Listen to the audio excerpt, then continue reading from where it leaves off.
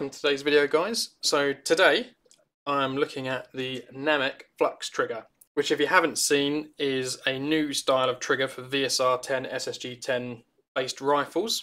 Uh, it's coming out of the US from a guy called NaMech. I got this, uh, well at time of recording maybe a month or so ago and I've tried it in a load of different setups that I've got. So I'm just going to head straight into it because this isn't going to be a massively long video as I said I've already done a blog post.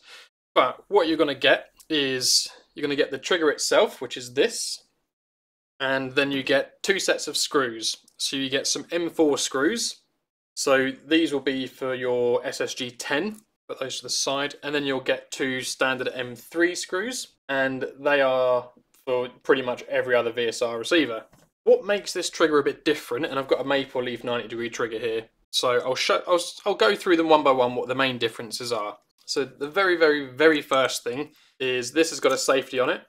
The NaMech doesn't, which is fine. Most people remove it anyway because it's just a pain in the ass. This has a removable spring guide stopper. This one doesn't. This, stupid screws, has adjustable trigger pull, which is done via the rear. This has it and it's done from the underside, which I'll show you in a minute. They're both 90 degree. Main thing is this relies on springs. So you've got a spring here and then there's another one round the back here for the trigger. And this is basically what keeps it returning. So when once it's been shot, it slides over and it springs back to lock it again. This is all done on springs. Springs can and do break on the VSR triggers. It's probably one of the weaker points. Some triggers like the Action Army and the Laylax uh, and the Bull trigger notorious for the springs breaking. The Maple Leaf, to be fair, has been really good. I've used this in one of my builds, and I've got a Springer Custom Works, which I've used for years and nearly all my builds. Never had a spring break, but it is a problem with using springs. This, however, has no springs in it, not a single spring. It relies purely on magnets to return the stopper and to return the, the trigger back to its position. And they are here at the front and here at the rear. Returning back is all done by magnet, and this sear, returning back, is all done by magnets. That in itself is a very nice feature because they're not going to wear out, not like springs do. And it's very crisp, very nice. There's very little mechanical movement going on. It's This is essentially free moving other than when it's being returned back by the magnet. The other feature on this that's very different, and it's some of these features aren't new, right? I want to clarify that. This is going to be a commercially available version of this, but this whole bearing and magnet thing the bearing has been used in a few different ways, whether it's been metal bearings or PTFE, Delrin, Teflon tubing, um, removable sleeves, etc. And the magnets was uh, a trigger called M Trigger by Nubia, I think, back in the day. But it never took off, it never got anywhere, it was sort of kept on the forums, whereas this has been massively improved on, it's been worked on over a long period of time to get it to where it is. And the features like the magnets are great, and here there's a bearing. So as and when the cylinder face contacts either edge of this, this will move backwards and forwards.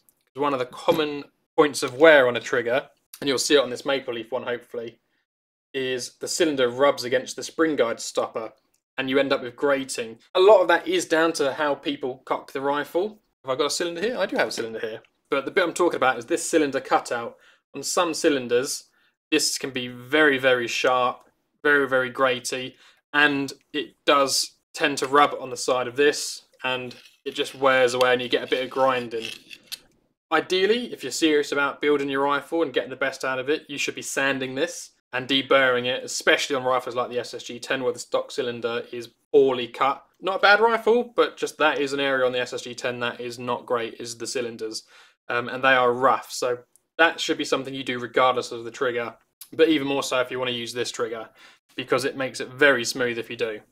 But what happens uh, again, I don't know how you'll see this on there, but this shouldn't really touch this spring guide stopper if it's being cocked correctly. But let's say it does. With the bearing, it's going to ride on that bearing. This is a maple leaf cylinder that I haven't touched, so you might hear the grate. I'm not sure how well you'll hear it. But that will sit inside that channel and ride along the bearing, and it won't hit that spring guide stopper. And that happens whether you tilt the cylinder when you're cocking it left or right. Either side of this should, in theory, ride along this bearing and that's going to massively reduce wear. If NaMech's clever, which I think he is, he'll probably make this a, a part that you can change out for different cylinders, uh, and if this ever does actually wear out. But that makes it very, very smooth to cycle. other one of the features, and this is clever, I, I do like this, and I'll try and show it on camera. So you've got these two screw holes here, right? I don't know whether you'll be able to see it, but they're stepped. So in that hole is a smaller hole. And the theory behind that, or the workings behind that, is quite clever. So on a normal trigger, obviously you've got your two holes here and here. They are, well, for this particular trigger, it's an M3. The ball trigger will be an M4, but these are M3 screws. But to allow this to work with different receivers and these stepped holes, the screws you get are an M4, which sits in, and it sits on the outside of the trigger body, like so. But if you're using, let's say, just a Cyma CM701 receiver, you put that screw in, it sits flush with the body, but it still goes through. It sits in a recess, so the screws are interchangeable. So if you end up tapping your receiver to use M4 screws, not a problem. You've got a set of M4 screws that come with this.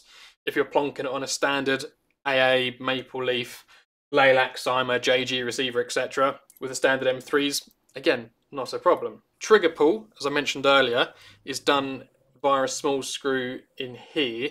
It's worth noting at this stage, this isn't the final design. This was a prototype that I was kindly sent. There are a few things that I've pointed out that I had some issues with. This trigger design, uh, on the prototype at least, is held in with one screw here, and this blade is interchangeable. What I found with mine is it very quickly loosens itself, so the trigger wobbled side to side. That's been addressed on the prototype, I believe, with the dual screw design. One of the other features I like, on the sear here where it releases, there is a small bearing. So rather than just being two metal edges, it's actually, there you go, if I pull the trigger down you can see it, that is a roller bearing.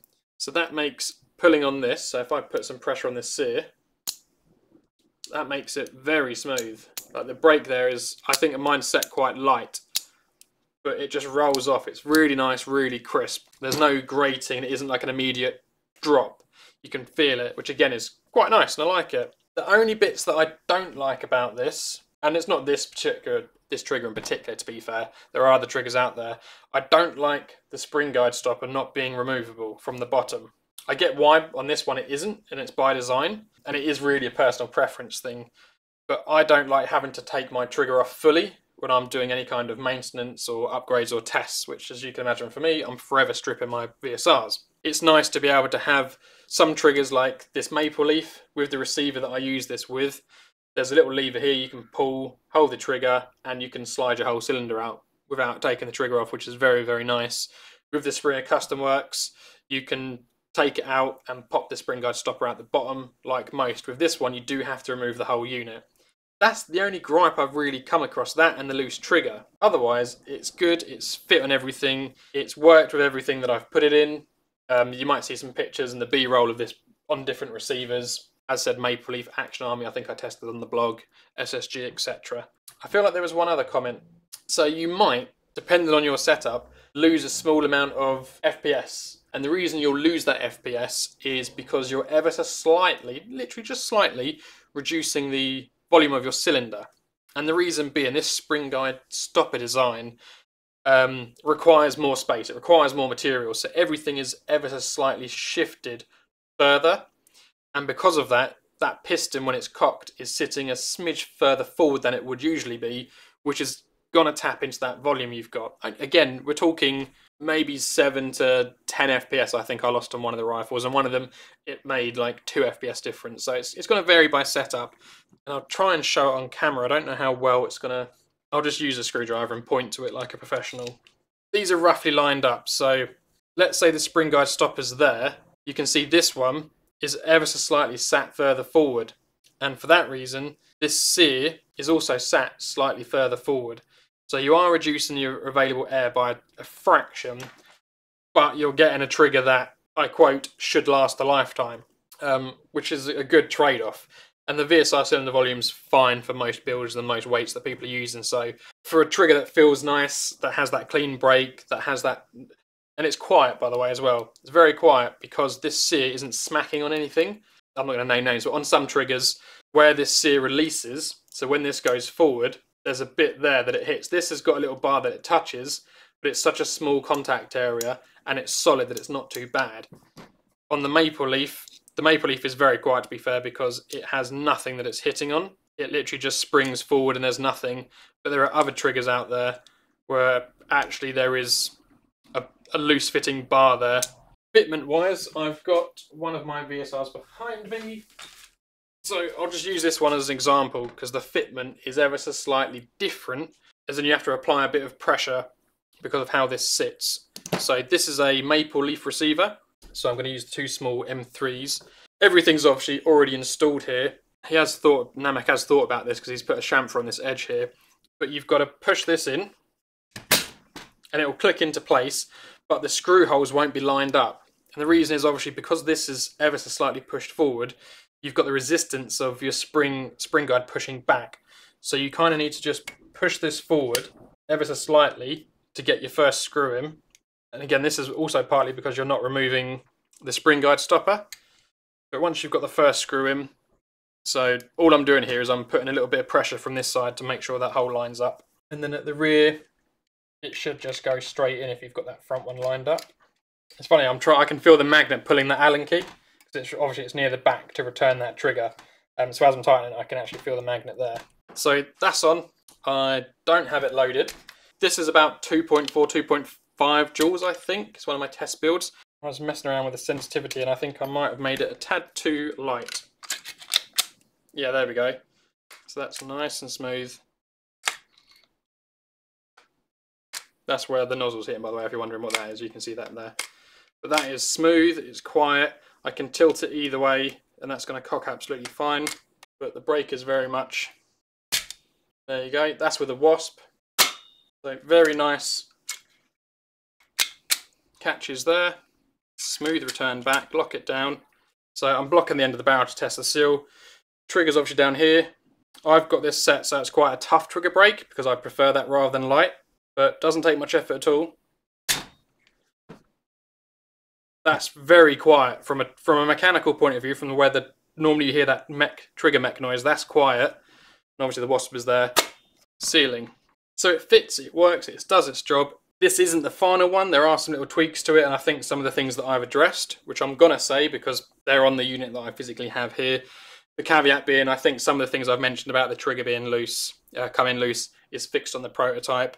There's a lot of sharp edges, again being a prototype. I'm going to mention it because it is what I have in front of me. But I spoke to NaMech. He sent me some updated pictures and some information. And I think a lot of this is just prototype things. Like they're going to be fixed on the production ones.